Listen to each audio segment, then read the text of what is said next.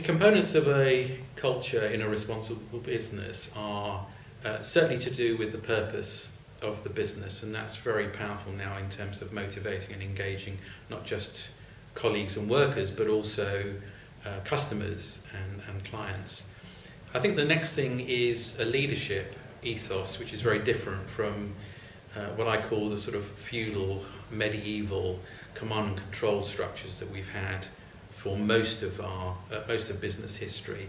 And, and what we're seeing is effectively a need to democratize the workplace um, because that then releases the energy of business, the conscience of people who work in business to do the right thing and to act responsibly.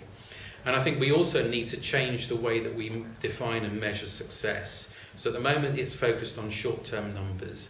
And I believe what we should be looking at is how businesses contrib- contribute in the round to the quality of our society and to the sustainability of our environment, including climate.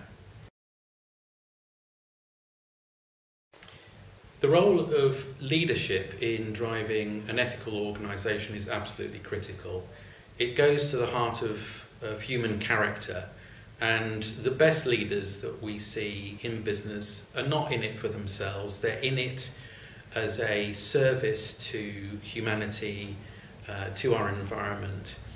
The worst leaders we see are those that display what psychologists call the dark triad of behaviour. They are narcissistic, they are Machiavellian and they are psychopathic. And we can see that in some of the political leaders we have around the world. So, a, uh, leaders who are driving an ethical and responsible culture are people who have personal humility, they have, um, they have humour, they have the ability to engage people with a smile on their face. And they also create a sense of psychological safety so people can challenge them without fear or favour. HR have a really big opportunity to uh, create and help to create the right culture in an ethical organisation and a responsible business.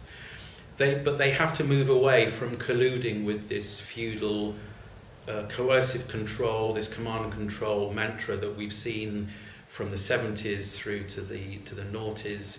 Um, and they really have to stop being what one non-executive director described as the organizational Stasi or Gestapo. I'm sorry to say that, but that's what he said, it's not my words. And actually challenge the board and the executive team to really see their colleagues as human beings, not as resources to be exploited, used and abused.